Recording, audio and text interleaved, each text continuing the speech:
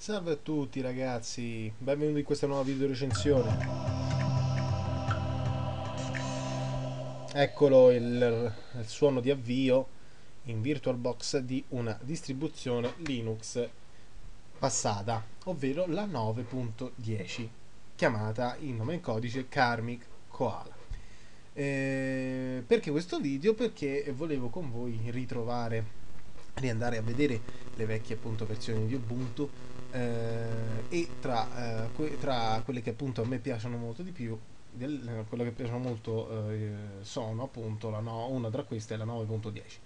andiamo subito a vedere l'ho fatta partire in VirtualBox e, e come vedete nel lato eh, destro dello schermo un, ci sono scritti i punti principali della distribuzione e delle caratteristiche di questa distribuzione come vedete la 9.10 è uscita a ottobre ovviamente perché è come indicato dal, 9, dal nome, 9 sta per 2009, mentre invece 10 per il mese. Il giorno di rilascio effettivo fu il 29 ottobre eh, del 2009. Il supporto è stato sino al uh, eh, 30 aprile del 2011. Ora, quali caratteristiche ha portato questo sistema operativo? È stato introdotto praticamente il, uh, il Grab 2 che, che era completamente differente da quello precedente. Le impostazioni di installazione eh, predefinito eh, non era più il file system XT3 eh, ma è divenuto il 4 il tempo di boot è stato migliorato e velocizzato e inoltre in particolare eh, particolare importanza lo si dà al fatto che sia stato modificato il, programma, il famoso programma di aggiungi rimuovi con l'Ubuntu Software Center. Infatti, ecco, vedendolo da qui, vedete che il sistema operativo praticamente era così formato. Eh, diciamo che a livello grafico eh, era, portava un tocco di novità Ehm, non aveva più tendeva un po' più al giallino come vedete sia dallo sfondo che dalle icone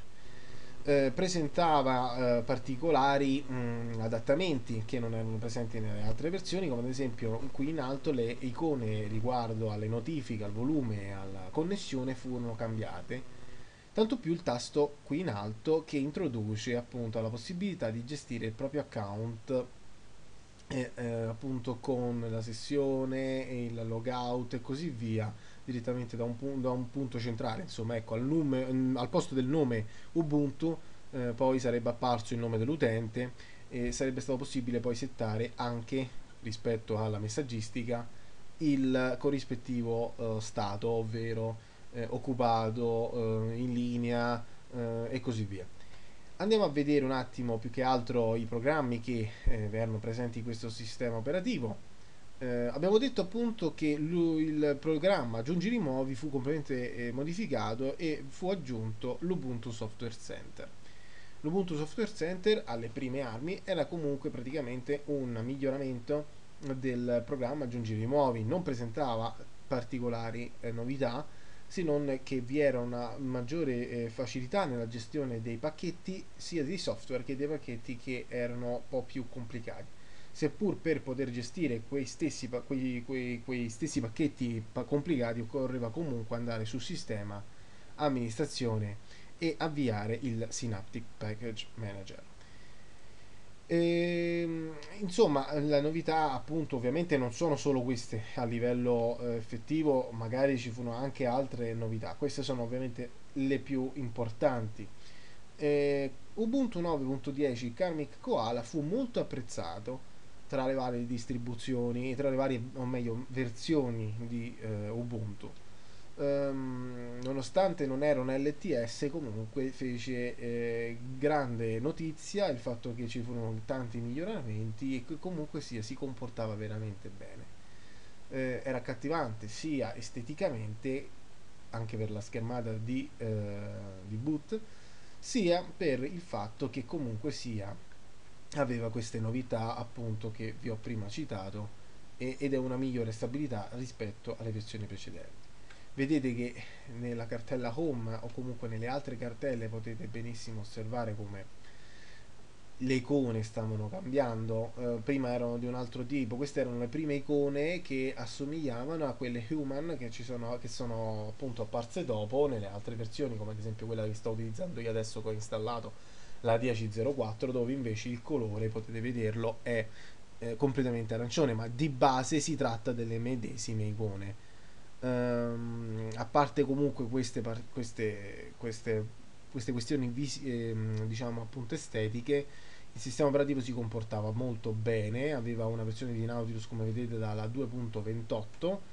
che appunto eh, consentiva un miglioramento nella gestione dei file, ovviamente più stabilità, ma eh, tendenzialmente il sistema operativo fu eh, un sistema operativo eh, molto apprezzato per la sua eh, velocità nell'avvio e nella sua eh, capacità di rimanere relativamente stabile. Ovviamente poi rispetto alle versioni precedenti come la 904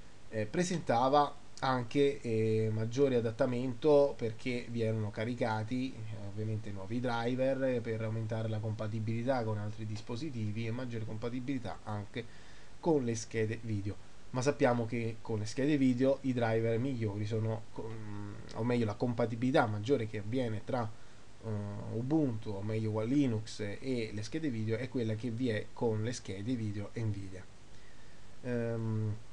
quindi ho voluto fare questo piccolo breve video di introduzione o meglio di introduzione di spiegazione di presentazione di Ubuntu 9.10 semplicemente appunto perché ogni tanto mi piacerà fare dei video per poter riscoprire le vecchie versioni di Ubuntu. Ehm, particolarità anche sempre estetica era che voglio appunto eh, di cui voglio parlare è la, eh, il tema human che è cambiato eh, Human appunto nelle versioni precedenti si presentava più come questo che adesso qua è scritto Human Clear Lux eh, ma eh, nella versione 9.10 appunto con Karmic Koala si ha questo marrone. Eh, un marrone che praticamente eh, non si, presa- non, si presenterà nelle versioni eh, successive come ad esempio appunto Ubuntu 10.04 che sarà una vera e propria novità. Ehm, quindi un, uh, venne anche migliorato la versione del tema Dark Room che aveva appunto questo aspetto uh, molto scuro vedete? Comunque utilizzabile non dà fastidio all'occhio per le, non c'è con, troppo contrasto è comunque molto accattivante ma a livello comunque sia funzionale l'importante è che il sistema appunto abbia eh, ricevuto grandi eh, favori dall'utente perché? Perché appunto, come vi ho detto, aveva grande stabilità e maggior velocità. Um, anche perché il file system XT4 eh, si comportava veramente bene. Eh, quindi ragazzi vi ringrazio volta, ancora una volta per aver visto il, questo video, vi, vi rimando alla prossima video recensione eh, e ci vediamo, ci vediamo per la prossima recensione appunto su qualche altra versione o di Ubuntu o su un nuovo sistema operativo magari. Un saluto a tutti e arrivederci.